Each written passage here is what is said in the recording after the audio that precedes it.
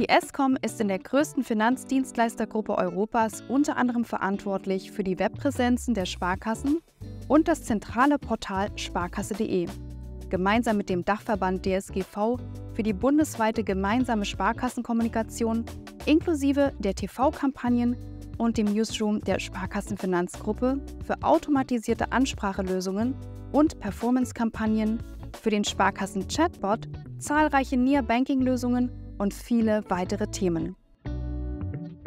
Das Unternehmen ist Teil des Konzerns DSV-Gruppe Deutscher Sparkassenverlag.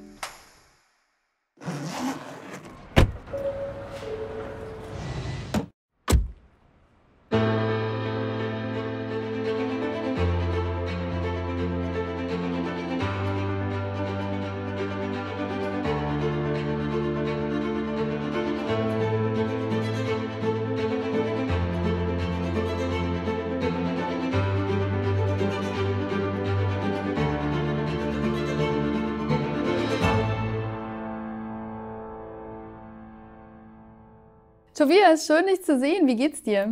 Sehr gut, vielen Dank. Danke für die Einladung. Ja, ich danke dir ganz herzlich, dass du dir Zeit nimmst für unser Interview. Und äh, dann starten wir mal, denn ich möchte dich gerne etwas näher kennenlernen. Erzähl mal kurz, wer bist du und was macht ihr mit der S-Communication? Also die S-Communication Services ist sowas wie der zentrale Dienstleister für Kommunikation und Digitalisierung für die Sparkassenfinanzgruppe.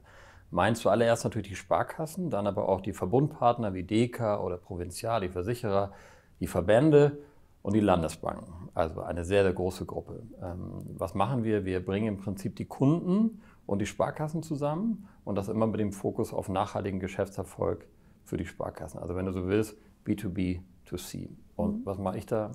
In der Geschäftsführung. so leicht und leite das Unternehmen. So leicht lasse ich da nicht, da nicht von kommen. Ein Unternehmen wird immer von Menschen gemacht und wir möchten dich natürlich auch etwas näher kennenlernen. Du bist ein Hamburger Jung, wenn man das so sagen äh, kann, und hast deine ersten Schritte in der spannenden Kreativwelt der Werbung gemacht. Du bist Vollblut-Marketier, hast du mir erzählt, als wir unser Vorgespräch hatten. Und äh, du hast einen sehr, sehr starken Fokus auf die ganzen Kommunikationsthemen. Ich finde, das hört sich super spannend an. Ich weiß, du hast super viel gemacht in deinem Leben, aber vielleicht kriegst du es hin, mir deine Highlights, deine beruflichen Highlights einmal kurz zu erzählen, so in vielleicht zwei, drei Minuten. Ich wollte sagen, wie lange haben wir Zeit, aber das mache ich gerne. Ähm, also erstmal vorab, ich bin leider kein gebürtiger Hamburger Jung, aber ich bin gefühlter Hamburger Jung.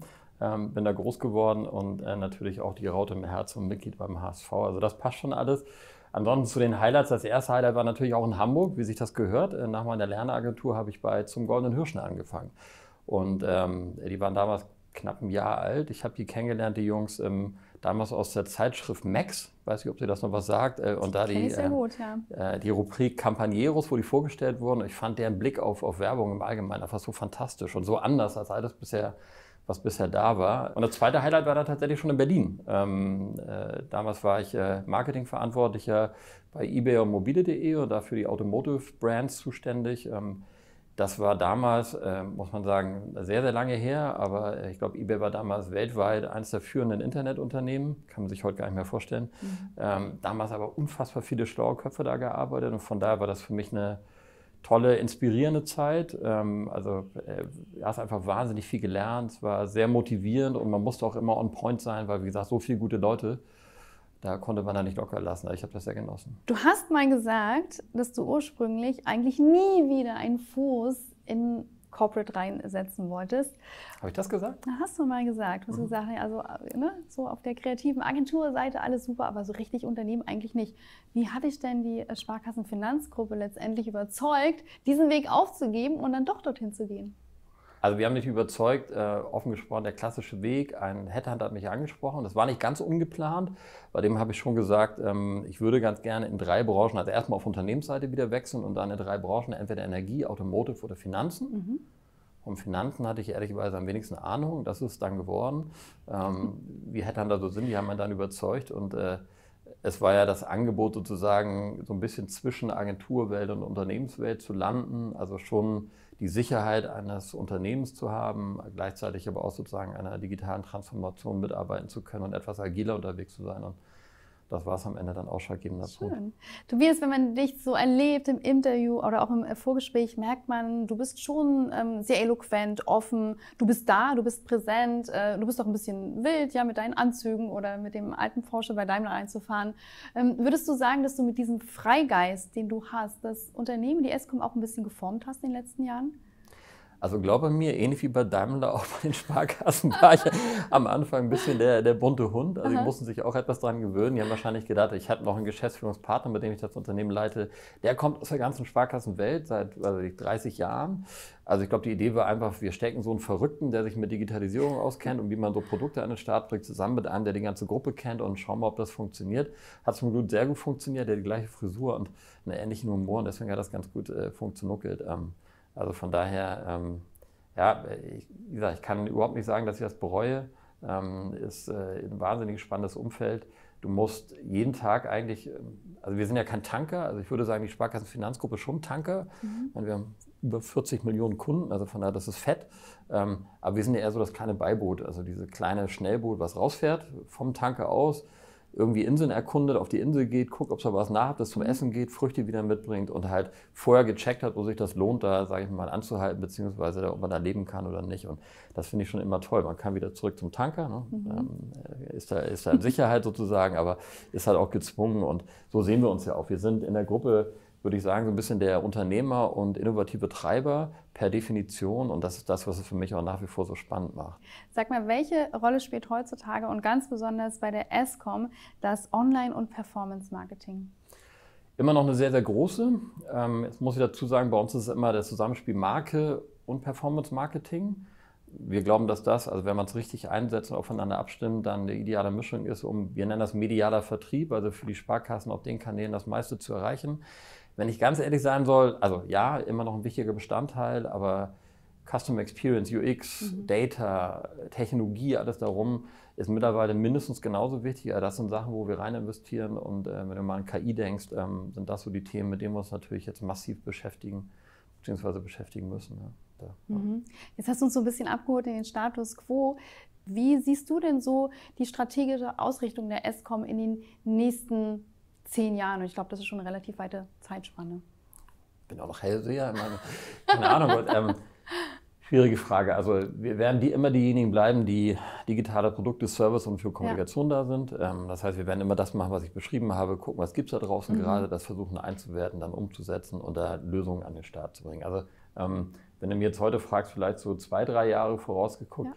Da würde ich mir sehr wünschen, wenn wir der KI-Experte in der Gruppe, also in der Sparkassen-Finanzgruppe werden würden, äh, werden sich einige mit beschäftigen. Aber das wäre so mein persönlicher Wunsch, weil ich es ein wahnsinnig spannendes Thema finde und ähm, man merkt ja jetzt schon, verändert vieles, nicht alles, aber vieles mhm. und ähm, deswegen. Ja. So wie du hast zwei Hobbys. Eins finde ich mega, das andere finde ich ganz schön tough. Lass uns erstmal über das eine sprechen. Du bist leidenschaftlicher Koch. Wir schnappen jetzt gleich ähm, das ganze Team, wir fahren zu dir nach Hause, setzen uns irgendwo gemütlich hin.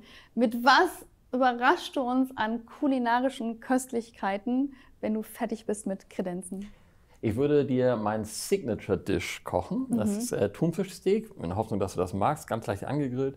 Ähm, Blattspinat dazu mit einer süß-sauren Soße und eine hausgemachte Mayonnaise. Okay, wir rappen, wir sind fertig. Ja. Und äh, genau. dann als Nachtisch, weil ich nämlich mit 14 angefangen habe zu kochen, mhm. auch etwas untypisch zu dem Zeitpunkt irgendwie. Und äh, mhm. das erste, oder beziehungsweise der erste Nachtisch, weil ich so ein Dessertfreak bin, den ich gekocht habe oder gemacht habe, war Mousse Schokolade. Lecker. Und ich behaupte von mir, ich bin weltweit der beste Mousse Schokolademacher, ja, sagen wir europaweit. Ähm, und von da würdest du als Nachtisch natürlich Mousse Schokolade bekommen von mir. Fantastisch, ich habe noch nichts gegessen heute. Ja. Hobby Nummer zwei, Muay-Boxen. Ich habe mich mal so ein bisschen äh, damit beschäftigt. Das ist ja so mit, äh, wenn man über Boxen spricht, die ganz fiese Sorte. Wie bist du dazu gekommen und hast du nicht Angst, dass du dir irgendwann mal so einen linken Haken einfängst? Da geht es schon echt krass Also ich habe ne? früher mit Tennis angefangen, das relativ intensiv gespielt und dann aber schon vor, vor Jahrzehnten mit Kampfsport angefangen. Nicht immer Muay Thai, sondern mhm. Kickboxen, mhm. Kung Fu und ähnliches. Also erstmal für dich, nein, das ist kein fieser Sport. Mhm. Ähm, ich gebe zu, man kann sich da mal eine einfangen, also das äh, durchaus. Und beim Mutter ist es tatsächlich so, es ist mehr oder minder fast alles erlaubt. Also ja, Allerdings, ähm, die Zeit, wo ich äh, im Ring stand und mit, äh, mit viel Herzblut irgendwie gekämpft habe, die sind lange vorbei. Macht man nicht mehr im Alter, weil viel zu gefährlich. Mhm. Also äh, Sparring und, und, und Fitness sozusagen, dafür mache ich das noch. Ähm, aber nochmal, es ist ähm, gar nicht fies, äh, denn ehrlicherweise Kampfsport ist, eigentlich sind das die ehrlichsten Sportarten und ich kenne, also ich habe ein paar Sportarten gemacht, ähm, mhm. kenne keinen Sport, wo du so viel Respekt und Achtung vor deinem Gegner hast weil du halt weißt, du klopfst sie hier auf die Nüsse sozusagen und da geht es zur Sache und da kann auch was passieren. Von daher allein diese Überwindung zu machen, mhm. Äh, zollt dir schon mal Respekt, dass der andere das, äh, das macht und du in den Ring gemeinsam steigst. Also ehrlichweise, man versteht sich besser als in vielen anderen Sportarten, auch wenn man gegeneinander kämpft. Also nichts fies. Ist, äh, okay, cool. Ist was Gutes. Ähm, Tobias, letzte Frage. Wer oder was inspiriert dich im Alltag? Das wirst du jetzt nicht gerne hören, aber ich habe keinen sagen, jemand, dem ich nacheifere oder mhm. wo ich immer sage, oh Mensch, der ist das. Also keine Elon Musk, kein, keine von diesen, von diesen Personen. Für mich sind es tatsächlich ähm, immer Leute, die nicht aus meiner Branche jetzt kommen. Mhm. Damit meine ich natürlich jetzt vor allen Dingen mal Finanzen, aber, aber auch Kommunikation. Also irgendjemand, der was ganz was anderes macht.